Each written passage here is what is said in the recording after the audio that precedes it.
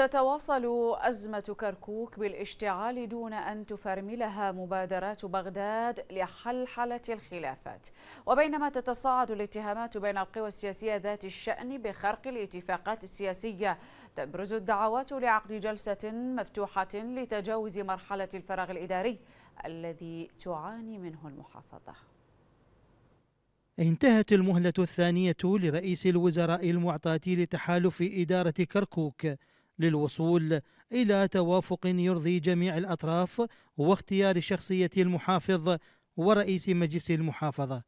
التوقيت توقف ولا بوادر للاتفاق وعبور مرحلة التعنت ولربما ستكون الثقة متأرجحة بين الناخب والمنتخب يقول مراقبون. ولا يمكن لكتلة معينة أن تشكل إدارة لوحدها دون اللجوء إلى آه، التحالف مع كتلة أخرى.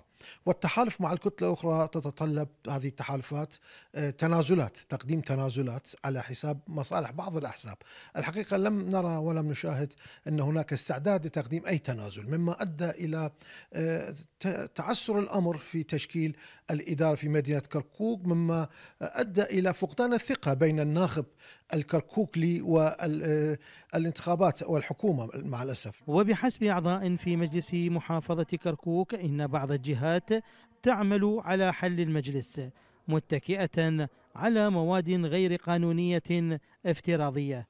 مبينين إن أفضل الحلول هو الدخول بجلسة مفتوحة تتقارب من خلالها الرؤى للوصول إلى توافق لإنهاء أزمة المناصب الإدارية. طبعا هناك جهات آه، تعمل على حل المجلس باعتماد على مادة قانونية افتراضية غير موجودة بقولهم آه، من هناك 90 يوم بعد المصادق على نتائج الانتخابات إن لم تشكل المجلس سوف يحل من قبل رئيس الوزراء وهذا المادة قانونية غير موجودة. لذا أنا أقول الحل الوحيد هو تشكيل المجلس قبل يوم أو انعقاد الجلسة الأولى وإبقاء مفتوحة لحين وصول إلى حل بين الكتل الفائزة.